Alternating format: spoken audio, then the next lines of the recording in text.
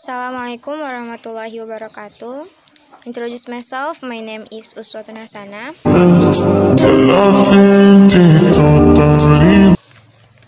Informational text provide information about the world. Every day you see and read informational texts. They are all around you. What types of information can you learn from reading this text?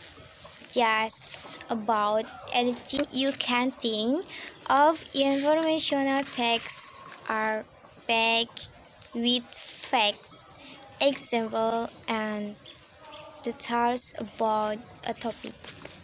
Sometimes there is so much information in a text that it is easy to feel lost where should you begin. Which pieces of information are most important. What do you need to remember? Luckily you can use strategies to help you find your way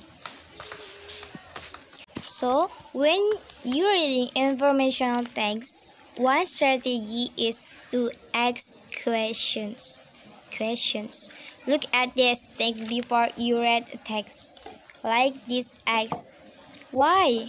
I'm reading this. What do i already know about the topic? What do i want to learn while you read X? Are any parts confusing do I need to reread to understand? If you see a word you don't know you don't know as how you can find out what it means. After you read X, did I meet my goals for reading? What did I find most interesting? What questions do I still have after asking questions about a text? Answer them. You might be asked to answer questions about a text during class for a homework assignment or on, or on a test. You can find the answers to most questions by looking closely at what the text says. For example, you might be asked, Do cats like to play? To answer, look for evidence.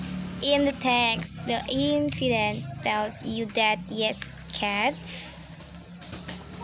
that yes, cats are playful. Here is another questions. What are two reasons to have a pet cat? To answer, look for evidence in different places. You may find several possible answers. Two reasons for having a pet cat are affectionate and don't mind being alone.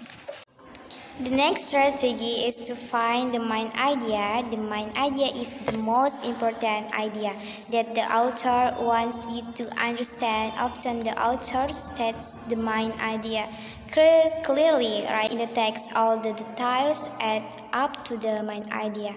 For the next strategy, find the details that support the main idea all the fake details and example in a text work together to support the main idea like beams holding up a brick the last strategy for reading an informational text is to look for ways that ideas are connected that will make them easier to understand one idea leads to the next transitional Words are linking words. Join idea.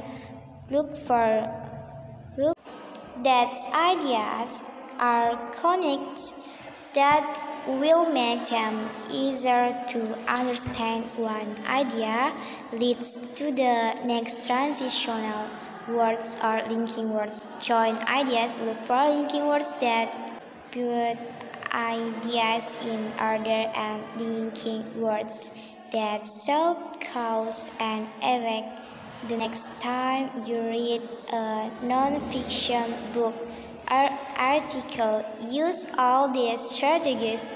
You will be on your way to understanding informational text you.